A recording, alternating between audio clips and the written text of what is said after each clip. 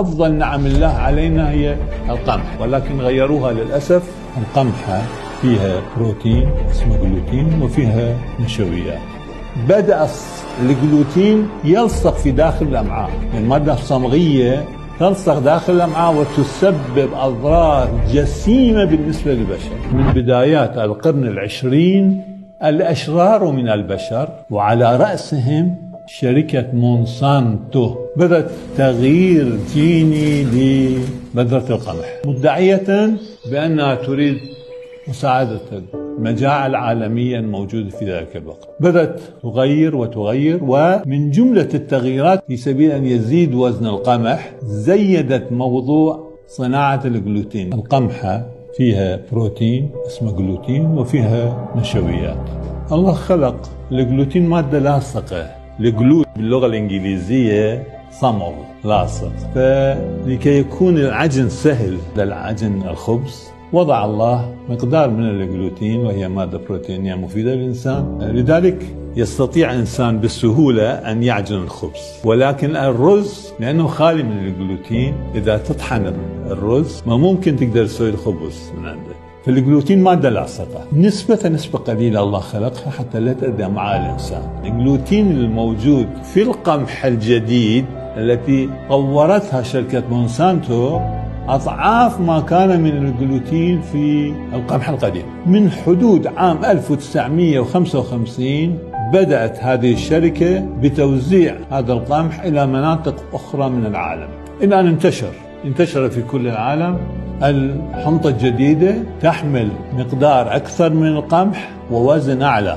لكن مسألة مهمة إن الله تعالى وكل شيء عنده بمقدار. من خلق القمح القمح الرباني ليس فيها أي ضرر. من أفضل وأن أفضل نعم الله علينا هي القمح. ولكن غيروها للأسف. بدأ الجلوتين يلصق في داخل الأمعاء. المادة الصمغية تلصق داخل الأمعاء وتسبب أضرار جسيمة بالنسبة للبشر.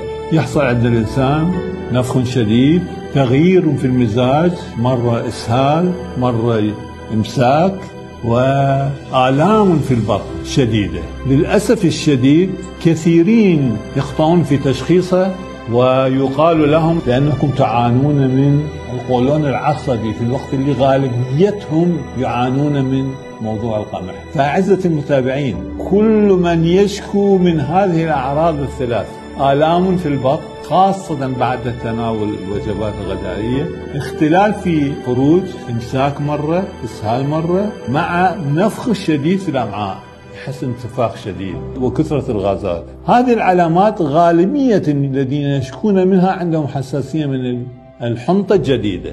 دكتورة في مصر اسمها الدكتورة زينب الديب وصلت إلى هذه الحقيقة وطلبت من المسؤولين العودة إلى القمح السابق وحتى سمتها لنعود إلى القمح الفرعوني. ولكن هذا الخبر وصل إلى الشركات الإجرامية شركة مونسانتو وعملائها في من المسؤولين في داخل الجمهورية العربية المصرية. وحاربوها محاربة شديدة حتى أجبروها على أن تتراجع عن كل أفكارها وتمتنع من إعادة هذا الطلب مرة ثانية. عزتي القمح الجديد فيها أضرار كثيرة لذلك كثير من الصيحات تقوم في كافة الدول العالم اليوم بترك القمح لا لأنه القمح العادي بل لأنه القمح الذي طوروه وأضافوا إليه الجلوتين أضعافا وضعافا. أعزتي عندما نقول الخبز أو كما يقول المصريين العيش كل ما